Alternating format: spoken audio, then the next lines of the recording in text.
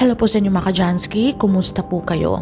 At ngayong araw na ito ay meron na naman po tayong bagong ibabahagi sa inyo na kung saan ito po ay mga simpleng paraan para mas lalo pang maka-attract ng good luck na yan sa usaping yaman man o pananalapi.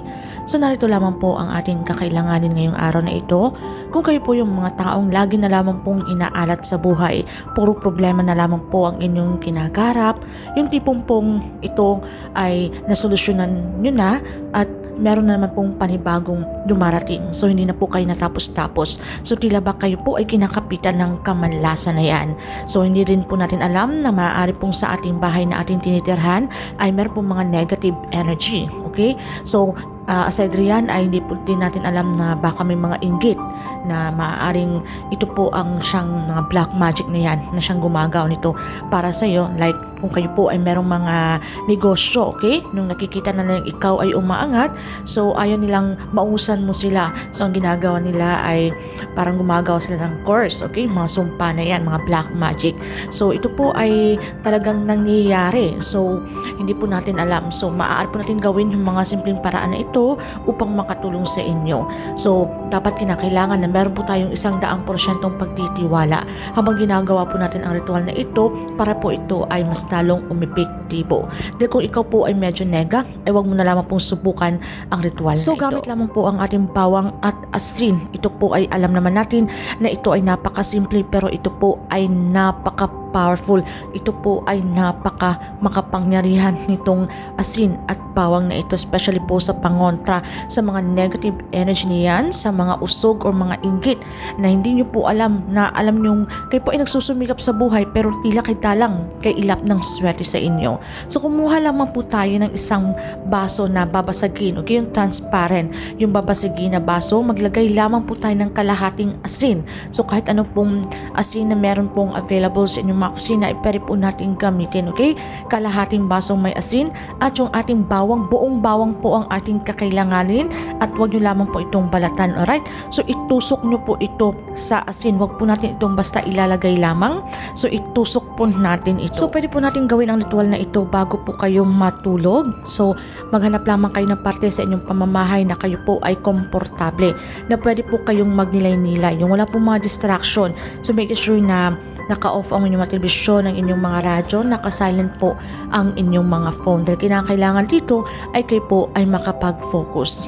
So aside riyan ay kailanganin din po natin ng kandilang kulay puti or kung wala naman po ay kailangan nyo ng incense sticks okay yung mga Chinese incense. So kung wala din po kayo niyan ay pwede po yung cinnamon stick okay So ang gagawin lamang natin, pag ready na po itong ating sangkap, ay sindihan lamang po natin kung ano po yung available sa inyo. Okay, yung puting kandila or yung inyong mga uh, incense sticks or inyong mga cinnamon sticks. Pero mas mainam dito mga kajansky, nagagamitin nyo yung incense sticks or cinnamon sticks mga kajansky dahil ang usok nito ay nakakatulong para po mas lalong yung mga negative energy ay kanya pong mas, ma, ma palabas, may alis sa loob ng inyong pamamahay kung ano man po yung mga kamalasan na yan. So, kunin nyo lamang po itong baso, hawakan nyo lamang po at um, inyo pong sindihan, okay? Pausukan.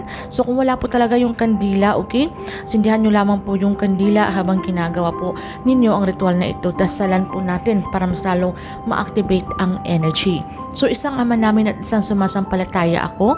Kung kayo po ay katoliko, pero kung iba naman po ang inyong relihiyon, ay wala pong problema. Pwede nyo pong sambitin ang inyong mga sariling dasal.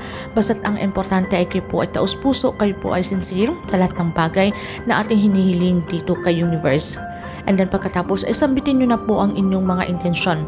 Ang inyong mga intensyon, kung ano po yung mga problema nyo sa buhay na gusto nyo pong matapos na, matultukan, magkaroon na po ng solusyon, at yung gusto nyo pong uh, hiling, na gusto nyo pong asenso na inyong hinahangad sa inyong mga negosyo, sa inyong mga trabaho.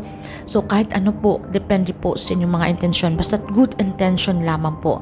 At tandaan natin na sa lahat po ng ating mga ritual na ginagawa at tayo po ay kiniklaim na natin, ini-affirm na po natin natin sa ating mga sarili na ito po ay mangyayari. Na tayo po ay positibo, wala po tayong pagkaalinlangan. So pinapagana po natin dito yung ating law of attraction. Yung inyong instinct na kahit ano po ang inyong gagawin. Kayo po ay magtatagumpay. Kayo po ay maging successful. So sambitin lamang po natin ang katagang thank you universe. Now I'm ready to receive the blessings. So pagkatapos nito mga kajansky ay pausukan.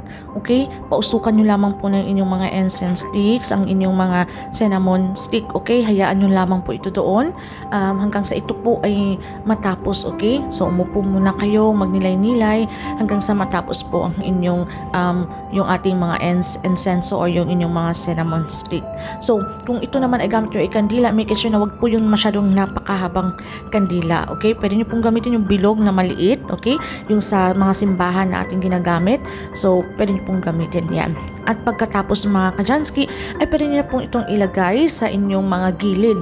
Gilid ng inyong mga front door o sa inyong mga main door. Make sure na hindi po ito magagalaw. So, hayaan nyo lamang So, po hayaan ito nyo doon. lamang po ito mga kajansky doon sa isang tabi hanggat sa unti-unti nyo pong mafe-feel yung mga changes o pagpapago o yung mga swerteng darating sa inyong mga buhay, mga windfall na mga swerteng hindi nyo po inaasahan. So, kung hindi pa po nangyayari, ay wag po kayong mabahala. Hayaan nyo lamang po ito doon. Keep manifest. So, kapag nakita nyo po itong tumuyot na o yung inyong mga asin ay kailangan ng palitan, pwede nyo po itong palitan lamang ng panibago. So, kapag pinalitan nyo po ito ng panibago, so, pwede nyo pong gawin ulit yung ating ritual na inyo pong dinasalan, ah, inyo pong sindihan yung incense sticks o inyong mga cinnamon sticks, okay, sambitin yung intention at ilagay nyo po muli ito doon, okay? So, yung ating mga itong ating mga um, bawang or yung ating mga asin na inyong pinalitan, so pwede po itong ibaon So, sa kapag lupa. ito po ay umusbong, so meaning po yung ating mga intensyon, okay? Talagang malakas po yung ating paniniwala, yung ating faith na talagang ito po ay mangyayari. So kung ito po ay maging tuyot, so wag po kayong mag- mag-alala kung hindi man po ito umusbong. So meaning po marami pong mga negative energy na na namamahay sa paligid kaya ito po ay kanyang nasipsip, okay? So yung ating asin din po. So wag po kayong mag-alala dahil pwede po natin palitan gaya ng aking sinabi, ibaon nyo lang man po ito sa lupa, alright? At pa, ah, palitan ng panibago. Kung umusbong man, kung umusbong man, so kung hindi pa man po nangyayari ang inyong mga hinihiling at ito po ay umusbong, kung kailangan nyo pong palitan, so pwede nyo po itong i-transfer doon sa isang paso, itanim nyo po ito doon, at pwede nyo pong maglagay po ulit kayo ng panibago. Okay? Hanggat sa mangyari po yung inyong mga kahilingan. So ayun lamang po ano mga kajanskit, gawin nyo po ito kahit anong araw.